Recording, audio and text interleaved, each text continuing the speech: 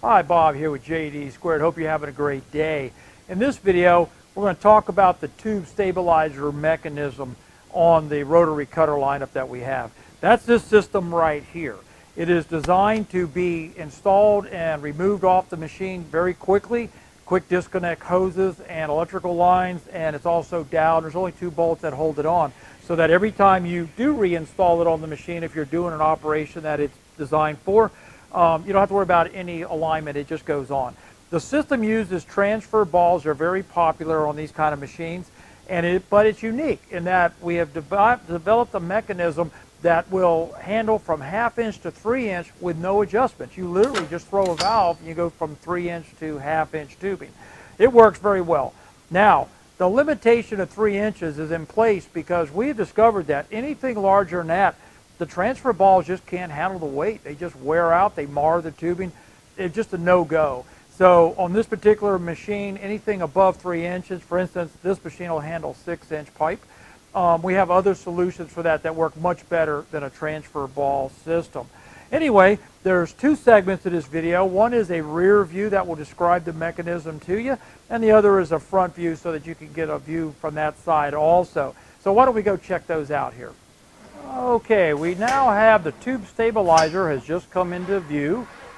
And I am going to pause the CNC program right there for a minute so that I could point out some of the features for you.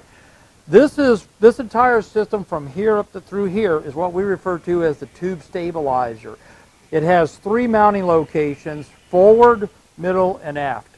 Uh, the reason we do that is if the machine is equipped with a tilt head, uh, all of our machines are tilt head, some of them are automatic, then what's going to happen, tilting this away where the torch is like this, you've got no problems at all. However, if, if it's in the forward position and you try to tilt this away, then the torch will hit this front face right here.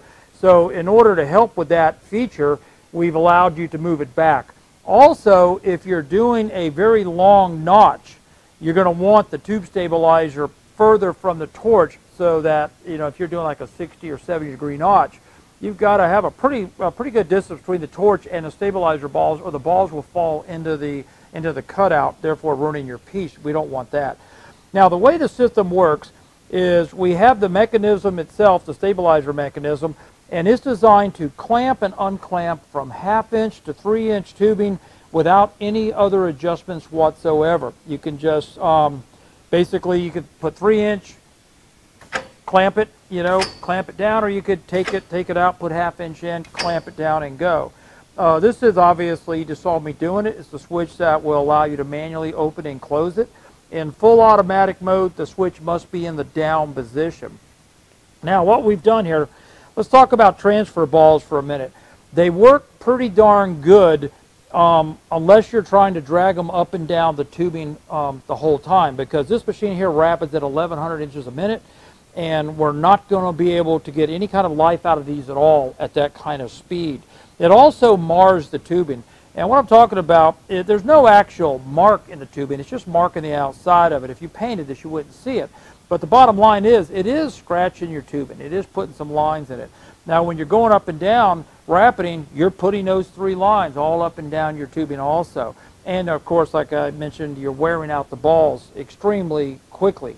Um, so what we did is we developed a system to where when the machine is not cutting, scribing, or marking, the balls will retract off the tubing and the tubing will settle down. You see I can move it now? The tubing will settle down into this roller right here. Now we can run full speed, the roller spinning with the tubing, and we're not marking the tubing and therefore extending the life of these things greatly. We're talking a factor of 50 to 100 times greater life. Now, another thing about these balls, when we engage it, if we were all the way out, the full three inches, this is inch and a half tubing right here, if we were all the way out, when we engaged it, they would clamp down um, pretty hard, but they would have a longer strokes. They would have a little bit more time to build up speed trying to mar your tubing also. So what we did, we added an adjuster right here that you could adjust to limit how far the transfer balls retract off the tubing itself. Another thing we did realizing that you um, could be using aluminum or, or soft copper or something like that.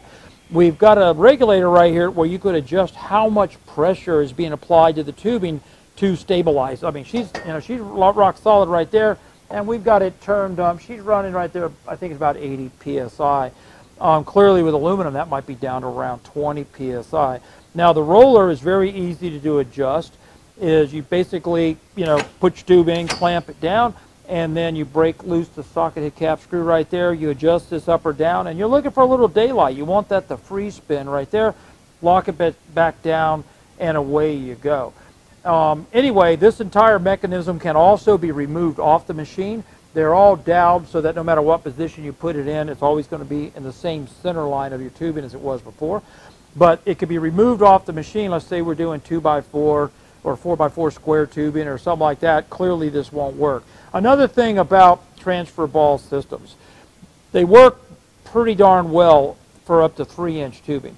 Anything beyond that, um, we just zero luck. I mean, just, it's just a train wreck. So um, that's where we limited on this machine. We don't want to sell you a machine that essentially is not going to last very long because of that limitation. Let me go ahead and hit resume here and you'll be able to watch it continue on. Now notice I do have the switch in the down position, so she will run automatic, fully automatic here.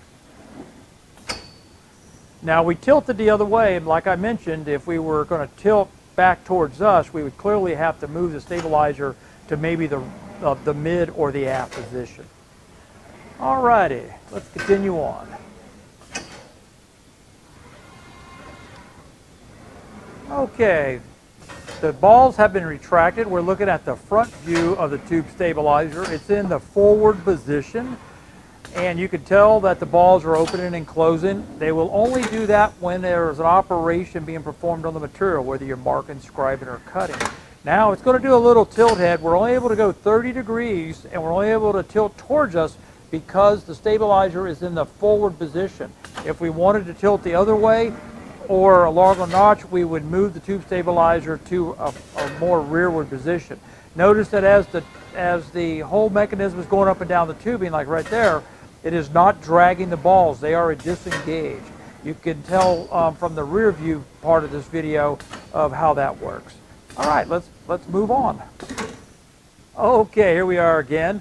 Um, a lot of features in such a small package. I hope I've answered all of your questions. If you have any more, please don't hesitate to contact our sales through email or phone. And um, as, as usual, I hope you have a great day and thank you for watching. Bye.